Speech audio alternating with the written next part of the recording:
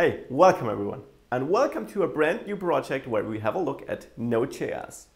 Now, I could imagine that many of you already know what Node.js is, but I find it very important to explain it at the very beginning of a project what we're actually doing so that everyone is able to follow along. As this is an introductory series and not anything for the pros doing it since five years. So what is Node.js? Node.js is a runtime which allows us to run JavaScript code on the server. Now you might think, okay, that's new because we mostly use JavaScript here in the client, in a browser. We use it to enhance user experience by opening up modals, by providing live validation, and so on, to, so to make our applications very reactive. That is where we mostly use JavaScript and where it is very powerful. We use it either plain in plain JavaScript form, or we use frameworks like jQuery or Angular 1 to create single page applications or React, or many more, of course. So this is how we use JavaScript in most of the cases. Now to understand how JavaScript code can run on the server, obviously we have to think about how does it run in a client, in a browser. Now, the developers of browser applications, they need to provide certain engines which interpret the JavaScript code they encounter when loading a web page. And then they need to run this code and run it correctly and render the web page, react to user uh, events, and so on. So we need an engine to execute that code. Such an engine is Chrome's V8 engine. That is basically just a JavaScript engine developed by the guys at Google who set up this Chrome browser and they well recognized that JavaScript used to be very slow and they thought they could speed it up if you would transpile the JavaScript code into machine code and execute it there. So in a nutshell, this is uh, one of the reasons why, why V8, their JavaScript engine, is very fast. And it is this engine that is built into Chrome browser. It is also open source and it's the same engine which powers Node.js because if you have the engine, you can run JavaScript everywhere. It doesn't have to be a browser, right? Of course, Node.js has made some adjustments because we need certain functionalities when running it on a server, when creating a server, which we don't need in a browser and so on. But in general, Node.js is using this V8 engine to run JavaScript files you give it to it. And this is how we use it on the server side.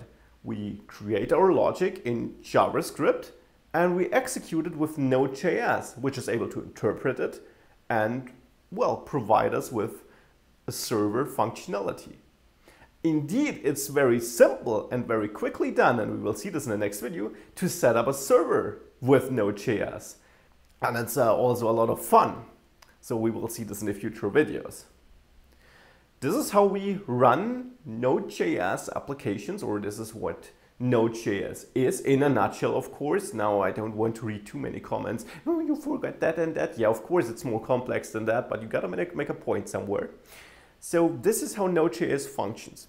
Now, one important question is, why would we use Node.js? Is it better than, let's say, Ruby, PHP, ASP.NET, anything like this?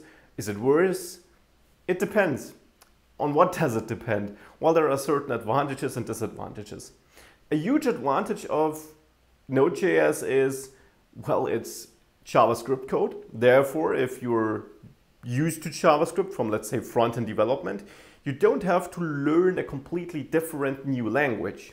You can use the same language, and if you switch frequently between front-end and back-end tasks, you don't lose your context each time. You don't have to get back into PHP and then back into JavaScript, but you stay in the same context. So that is a not too forgotten advantage that you can stay in one language and that you can really excel in one language instead of learning 10 different ones. So this really is uh, an advantage.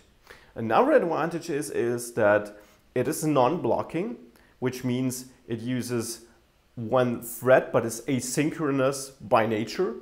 So it is very fast too. It's very good at handling multiple, multiple thousands of requests at the same time. What it's not that good at though is handling a single data intensive request. There are better languages for stuff like that.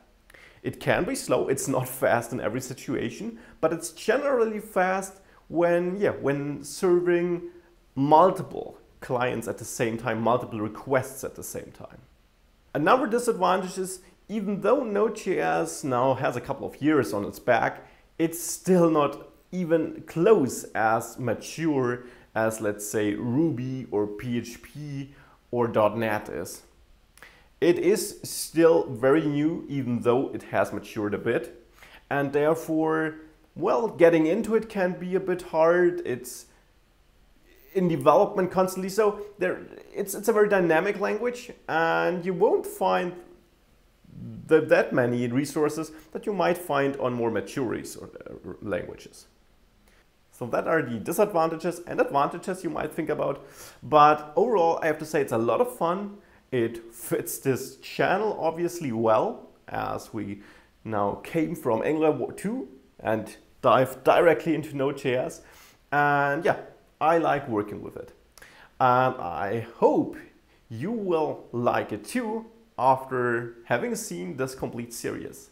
In the next video, we're going to start with setting up our Node.js environment, which is very easy, and writing our first application. See you there. Bye.